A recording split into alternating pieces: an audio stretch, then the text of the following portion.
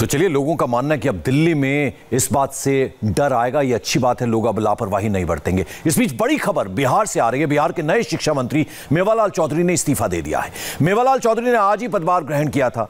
मेवालाल चौधरी ने बिहार विधानसभा चुनाव में जेडीयू के टिकट पर यह चुनाव लड़ा था। उन्होंने मुंगेर के तारापुर विधानसभा सीट से जीत हासिल की। कल तेजस्वी यादव ने मेवालाल चौधरी के बहाने नीतीश सरकार पर निशाना साधा था। तेजस्वी ने कहा कि भ्रष्टाचार के गंभीर मामलों के आरोपी को शिक्षा मंत्री बनाया गया है। और अब खबर यह है कि मेवालाल के खिलाफ अब मेवालाल चौधरी ने इस्तीफा दे दिया है। और यह बहुत कम होता होगा कि किसी मंत्री ने आज ही पदभार ग्रहण किया। मेज पर बधाई के गुलदस्ते रखे हों और ठीक उसी वक्त मंत्री जी की कुर्सी चली जाए।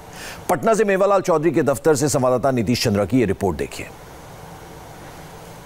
शिक्षा मंत्री मेवालाल चौधरी ने इस्तीफा दे दिया है। ये मेवालाल चौधरी का घर है। मुंगेर के तारापुर से विधायक हैं और नियुक्ति घोटाले में जिस तरह से आरोप था, लगातार ये मामला विपक्ष उठा रहा था, उसके बाद नीतीश सरकार ने मेवालाल चौधरी से इस्तीफा ले लिया है। और आप देखें, यहाँ पर गुलदस्ते उनके घर पर यहाँ पर पड़े हुए हैं।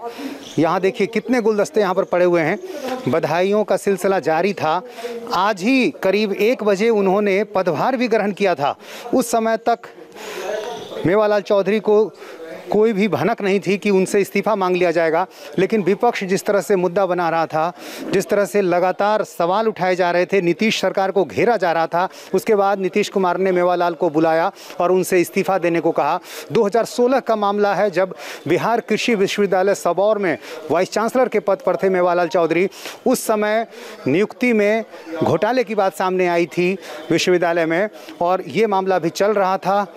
हालाँकि इस मामले में चार्जशीट फ़ाइल अभी नहीं हुई है, लेकिन उन पर गंभीर आरोप हैं। इसलिए विपक्ष ने इसे बड़ा मुद्दा बनाया। तेजस्वी यादव ने ट्वीट के ज़रिए लगातार हमला बोला और इसी घेराबंदी का नतीजा है कि नीतीश कुमार ने मेवालाल चौधरी से इस्तीफा ले लिया। कैमरामैन विनोद कुमार के साथ नीतीश चंद्र, इंडिया टीवी, पटना।